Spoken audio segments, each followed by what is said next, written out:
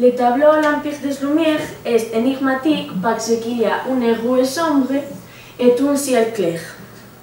La lumière du ciel fait paraître eh, la rue la plus sombre.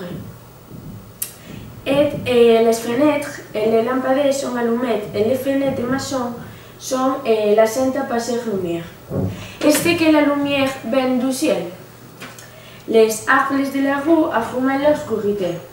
Le tableau pro- provoque la confusion. Dans tous les tableaux de ce pinteur, on observe que le ciel est plus clair à l'ouest, ce qui implique que les étoiles sont plutôt matinales, dépendant de la case de la toile que je porte. De fait, le ciel est plus clair à l'ouest.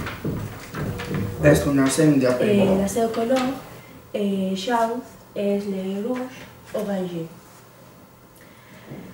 Et des disques solaires du soleil et se reflète en un éclatement de léon.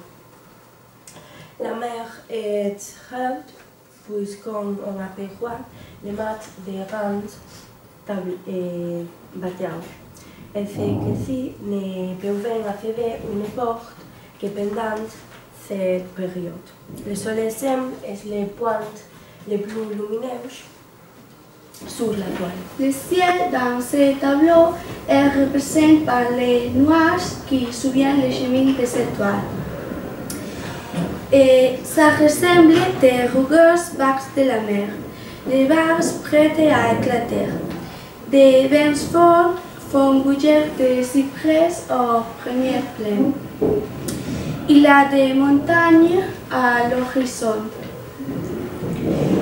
Et nous pouvons voir des étoiles réelles, Vénus et la lune croissante. Le ciel bleu au-dessous de la ville contient un grand soleil jaune brillant, les musiciens, les animaux et les couples volants. La peintre représentait une expression de sentiments internes de chagrin, qu'une projection objective d'un monde extérieur. C'est une image surréaliste. Les étoiles et le ciel bleu derrière. C'est une représentation plus, plus originale que la quand les mythes de Chute de, euh, à Icar, de Icar, comme son nom indique.